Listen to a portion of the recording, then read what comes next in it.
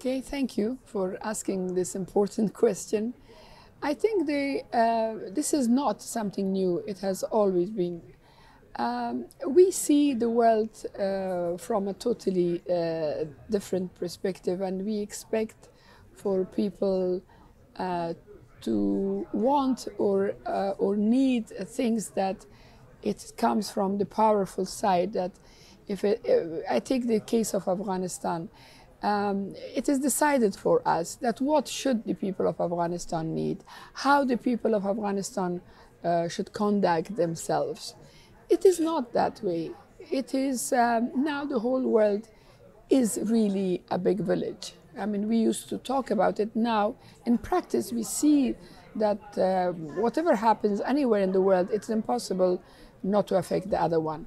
So let's listen to each other and if we, um, if we claim that we are going to help such and such a country or such such people, we have to be prepared to uh, expect for them or want for them exactly what we want for ourselves. Then most of the obstacles will go away. The biggest um, security challenge today in the world is that we are divided very badly and uh, we should we should see each other that if it is environmental uh, hazards, it is for all of us. If it is health others hazard, it is for all of us. COVID came just a um, few years ago. It doesn't have bon- uh, boundaries that well, I go to this country, I don't go to that country. It went for all of us. Security and lack of security is exactly the same thing. If I underestimate um, something going on in a country like Afghanistan, it will happen in New York. So let's act together, let's solve it together.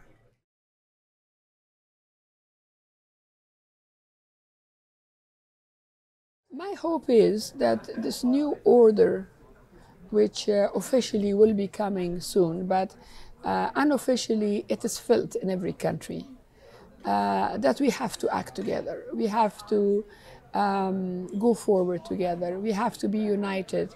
We have to see a problem anywhere in the world as a, as a global problem.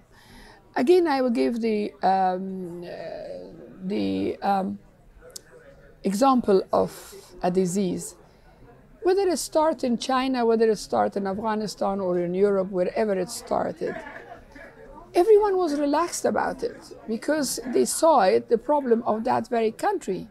This is not the case. When we see a hazard, a problem, whether it is health or environment or even physical aggression, we all need to get united to stop it uh, before it happens.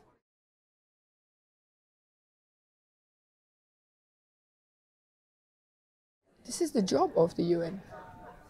If we have UN, I mean, if someone says that we should not have a UN, okay, we, let's not have a UN, but we do have a UN.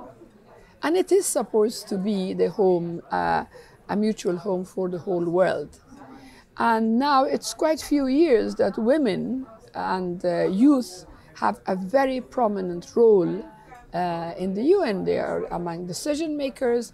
They are um, they are in very high level posts, and uh, they are heard.